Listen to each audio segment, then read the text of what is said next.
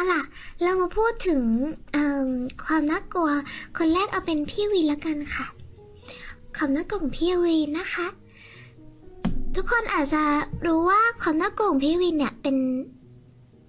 ไม้แขวนเสื้อแต่ที่จริงแล้ว มันก็มีคนพูดถูกค่ะว่า มันไม่ได้น่ากลัวที่ไม้แขวนเสื้ออย่างเดียว น่ากลัวที่คนถือด้วย ด้วยความที่เออพี่วินจะมีความเป็นแม่แล้วก็รักเด็กทุกคน พูดไปก็เหมือนจะคอขาดไป ถ้างั้นอวยก่อนแล้วกันค่ะ ก็คือพี่วินเนี่ยนะคะ เป็นคนที่เอ่อ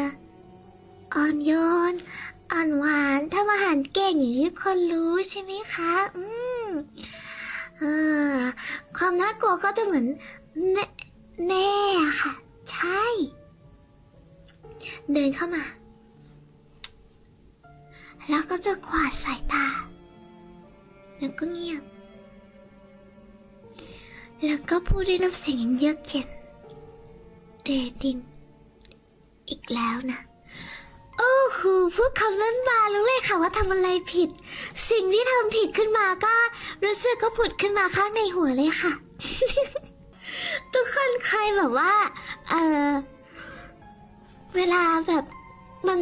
มันจะเป็นแนวที่แบบ อะ อย่างเช่น เวลาเราทำอะไรผิดสักอย่างใช่ไหมคะโหเราทำผิดแบบจัดๆแล้วทีเนี้ย มันก็จะเป็นมูดที่แบบอย่างเช่น กลับจากโรงเรียนนี้แล้วกันนะคะเวลาเรากลับจากโรงเรียนเนี่ย แล้วก็จะแบบคุยกับแม่ใช่ไหมว่าเอ้ยหนูอยากจะแบบว่า กินนี่กินนู่นกินนั่น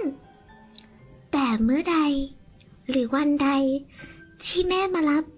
แล้วแม่เงียบ เราก็จะทำหน้าอย่างนี้เอออย่างเช่นเราบอก แม่หนูวันนี้หนูอยากกินเป๊ปซี่ แม่บอก แม่ก็เงียบ แล้วก็ จะเป็นอารมณ์นั้นเละ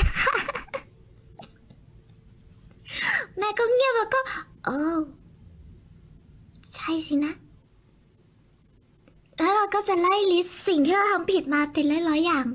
ตึกตึกตึกตึกไล่เข้ามาในหัวสมอง แล้วก็นั่ง แล้วระหว่างทางกลับบ้านนั้นก็จะ อะไรนะ